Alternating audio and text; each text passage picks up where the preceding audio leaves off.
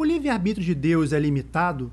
E será que Deus sente raiva ou ciúme dos homens? Preparados? Então simbora.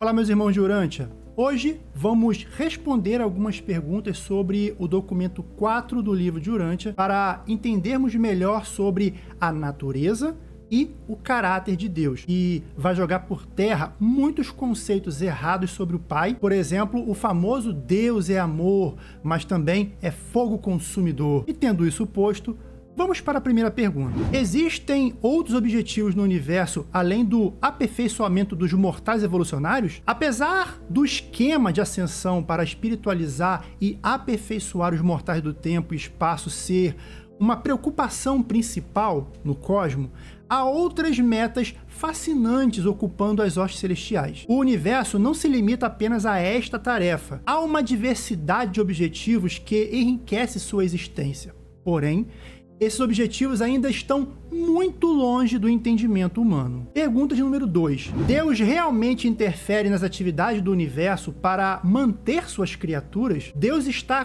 constantemente ativo na administração do universo e não se retirou para uma atividade passiva, dá uma relaxadinha.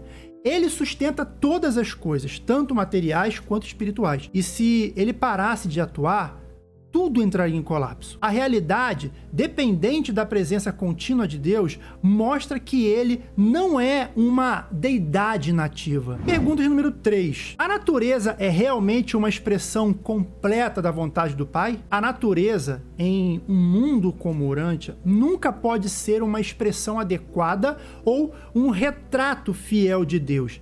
As imperfeições e variações observadas na natureza são resultados das imperfeições da evolução progressiva e, às vezes, das consequências da rebelião.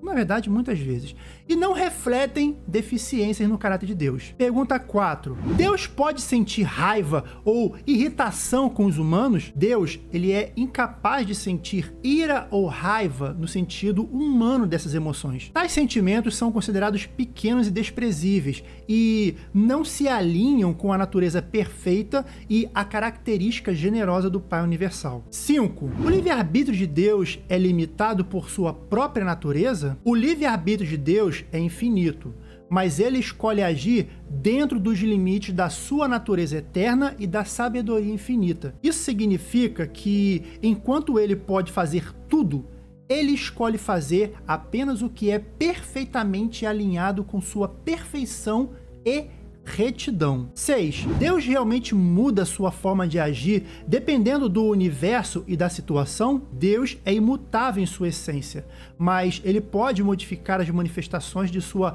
absolutidade para se adaptar aos planos e objetivos de diferentes universos e situações. Ele tem vontade própria e pode adaptar suas ações sem mudar sua natureza perfeita e imutável. 7. Sacrifícios e derramamento de sangue realmente aprazem o coração de Deus? A ideia de sacrifícios de sangue ou penitências, e isso vai comover o coração de Deus, é considerada repulsiva e uma ofensa à sua natureza. Essas práticas são vistas como relíquias de uma religião primitiva e são extremamente desagradáveis para os seres celestiais e governantes divinos. 8. Os sofrimentos de Jesus foram necessários para ganhar os favores de Deus? O sofrimento de Jesus não foi uma necessidade para ganhar os favores de Deus, mas foi uma consequência inevitável do encerramento de uma era planetária e da sua missão de conquistar a soberania do seu universo. Ensinar que Deus só se comoveria ao ver seu filho sofrendo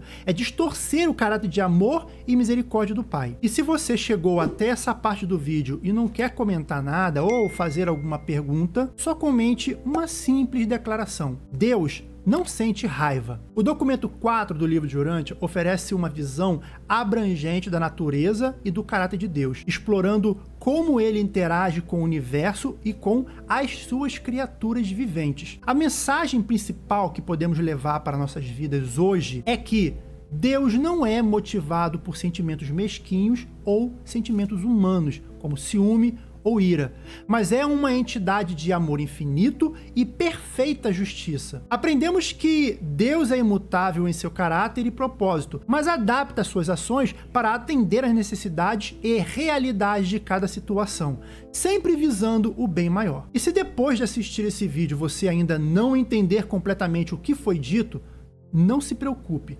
todo domingo, agora nesse mesmo canal, não é mais no Sabedoria Urântia, estou fazendo a série O Livro de Urântia na linguagem de hoje, que é um audiobook onde eu faço uma releitura do livro de Urântia usando uma linguagem gramatical mais próxima do português que aprendemos na escola, sem adulterar a mensagem original do livro de Urântia, ficando assim muito mais fácil de compreendê-lo. Assista essa série, você vai confirmar o que eu estou te falando ok? Não se esqueça de avaliar o vídeo, se inscrever e compartilhar ele com seus entes queridos. Fique com a paz do Pai Universal e até o próximo vídeo.